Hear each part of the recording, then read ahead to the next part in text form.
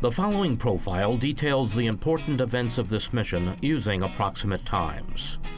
Five, four, three, two. We have ignition and we have liftoff of the United Launch Alliance Atlas V rocket. The Atlas RD-180 main engine ignites to lift the vehicle away from the pad. Shortly after liftoff, Atlas begins its initial pitch, yaw, and roll maneuvers to attain the proper ascent profile and minimize aerodynamic loads. The Atlas V reaches Mach 1, the speed of sound, at 79 seconds. At 87 seconds, the vehicle experiences maximum dynamic pressure.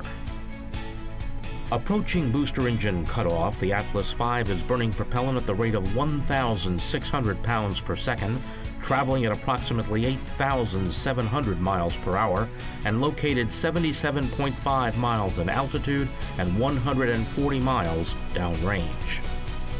Booster engine cutoff occurs approximately four minutes after liftoff. Six seconds after booster engine cutoff, the booster stage is jettisoned. The first Centaur main engine start takes place 10 seconds after booster separation. The payload fairing is jettisoned 4 minutes and 27 seconds into the flight. Centaur main engine cutoff occurs at 15 minutes and 36 seconds. At 19 minutes 15 seconds, Centaur releases Worldview 4 for DigitalGlobe.